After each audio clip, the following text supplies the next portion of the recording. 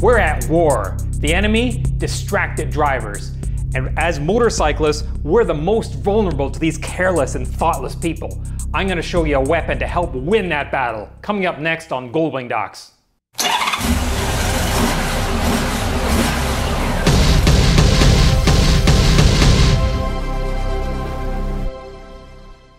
Distracted driving is an epidemic. In some places, cell phone use is illegal in the car, and so you don't see it that often, but people are still messing with their radios and not paying attention to the road. In places where there's no ban on cell phone usage in cars, like here in Ohio, it's rare to see people that don't have a cell phone in their hand. And if they're under 25, you can pretty much guarantee they've got a cell phone clamped to their head or they're texting away. I've actually kind of turned it into a game. When I'm on the highway, I can actually pick out the cars that have people who are texting away on their phones as they're driving, and I'm almost always right. You can tell because they're just drifting and they're not with the flow of traffic. They're not paying attention. According to the AAA, 94% of all drivers find it unacceptable to text or email while driving. But of those 94% drivers, 36% of those people say they've done it in the last month. 21% of teen drivers in fatal accidents were actually distracted by their cell phones at the time of the accident. And despite more and more safety equipment in cars, motor fatalities are increasing.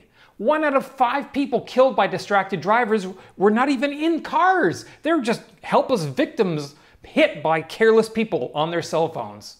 And those aren't even true numbers because distracted driving is heinously underreported. It's estimated that cell phone usage is directly responsible for one out of every four crashes. In the US alone, that means cell phone usage is responsible for 1.6 million crashes a year with 390,000 injuries.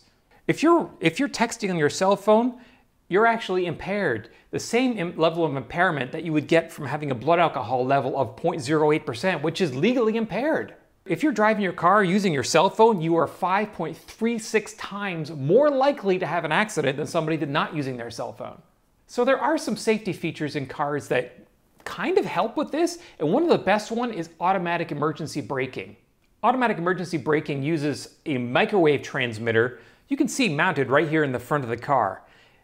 It's, they call it microwave, but it's actually radar, that's what it is. So a radar transmitter in the front of the car so if you have a car that has one of these AEB microwave transmitters, it sends out a signal that reflects off the car in front of you. It receives that signal back and it can tell how far away that car is and the speed differential between you and that car. It leads to things like adaptive cruise control. Here you can see I'm driving and I have my cruise control set for 40 miles per hour. But if you notice, we're only driving 25 miles per hour. And why is that? Because the car in front of me is only driving 25 miles per hour. It will follow that car. Here you can see as the car in front of me slows down for the intersection ahead, my car detects that and slows itself down and will actually stop itself. That's a fantastic feature. It not only does that, if you're driving along and you're not paying attention and someone stops suddenly in front of you, or maybe there's suddenly a car that is parked on the side of the road that you didn't detect, your AEB will detect that, see that there's a car coming up, see that there's an imminent crash about to occur, and here's what happens.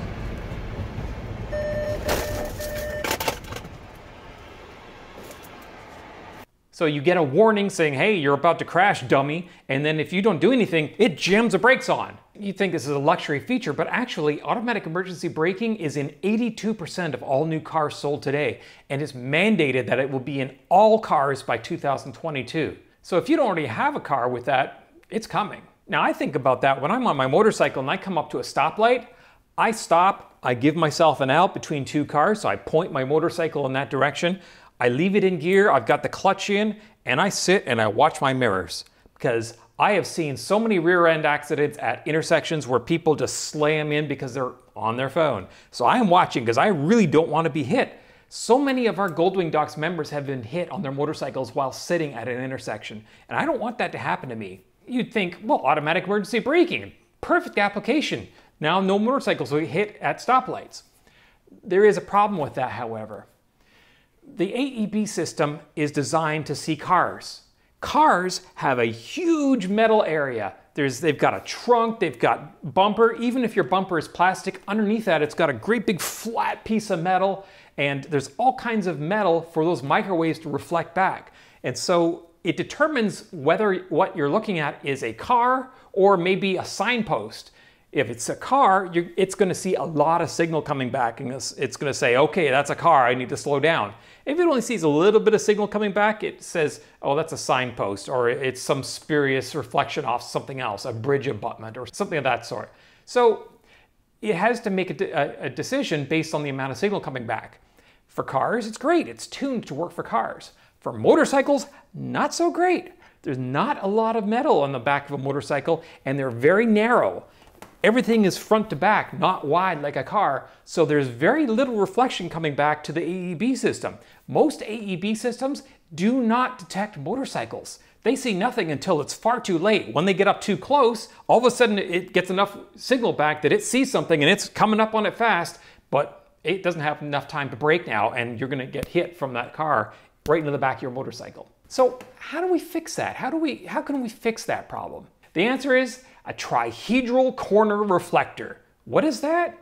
Well, let's have a look at how radar works. If we want to see how to make something appear on radar, well, let's have a look at how we make something not appear on radar. Have a look at this stealth fighter. Notice something that's missing? You see a lot of angles. And what those angles are for is take radar signal and reflect the radar signal off in another direction, any direction other than back at the source, because that signal actually has to get back to the source in order for them to detect it as a radar signal. So if the radar signal hits the airplane and then a, an angle reflects it off at a, a, some other direction, the airplane doesn't appear on radar. What you need is something that's going to reflect it back. So you could have just a great big sheet, piece of sheet metal on the back of your motorcycle. That would reflect radar, but what if the person coming up on the motorcycle is at an angle? That signal is going to hit that sheet metal and then bounce off at a different angle and it's never going to get detected.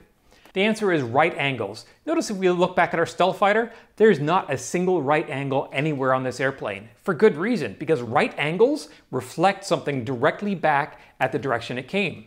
Have a look at the reflectors on your motorcycle. You know the ones that light up when you hit them with a, with a headlight?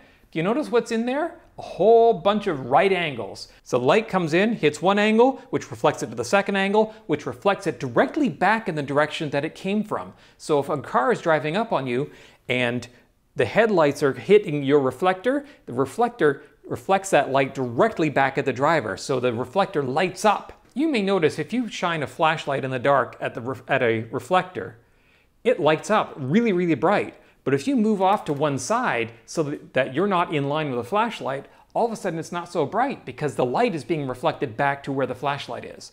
So that's our trick, right angles. How do we put right angles to reflect radar on a motorcycle? The answer to that is a trihedral corner reflector. These have been used on small boats for years, typically because boats are made of fiberglass, which doesn't reflect radar. And so if there's another boat out there that's looking for boats in the fog, it's not going to show up.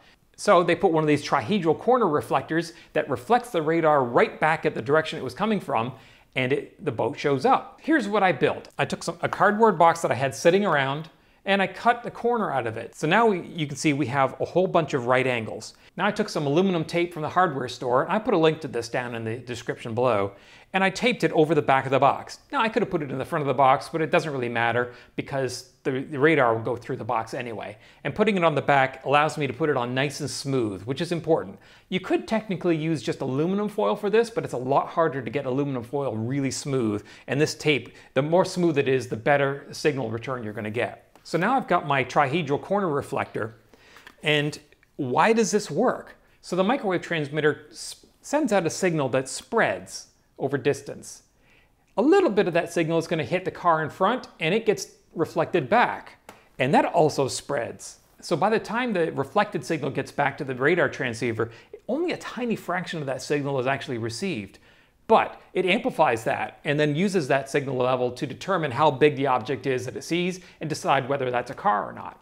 When we're using one of these, it's not sending that weak signal and spreading it back. It's taking all the signal collected in this area and sending it directly right back, aimed right at that microwave transceiver. So that transceiver is receiving a much larger signal than it normally would from a car. So even though it's just a tiny little reflector like this, the microwave transceiver sees a huge signal and it says, whoa, there's something big up there. It's a truck, it's a car, I need to pay attention. So this little piece of cardboard with a little bit of aluminum foil can turn our motorcycle in the eyes of a microwave transceiver from a tiny little thing with almost no radar return to a great big car. So we want the point of this device pointing forwards to the front of the bike and the back of it pointing back towards traffic behind us. Where can we mount it? Fortunately, on our Goldwings, we have this nice big saddlebag and there's a space inside where we can use some duct tape and just mount it right up like that. Now it doesn't have to be vertically up and down. As long as it's pointing generally backwards, it's gonna work perfectly because remember, it sends the radar back in the direction that it came. You could also make it bigger than this as long as it will fit. And of course, the bigger it is, the more signal you're gonna end up sending back to the other car. Something simple that can help save your life and it costs less than 10 cents to put this together. It's a no-brainer. I hope this video is of some use to you and you actually get some valuable information and maybe make one of these to put in your own bike and ride safely. If you have any questions or comments, please add them below. And of course, click like, subscribe, hit that little bell. It really helps us out. And of course, don't forget to check out the Goldwing Docs forum. We've got so many people on there and it's summertime. The forum is hopping. There's all kinds of content, great friendly people, advice. If you got a problem with your bike, we've got experts to help you. Thanks for watching.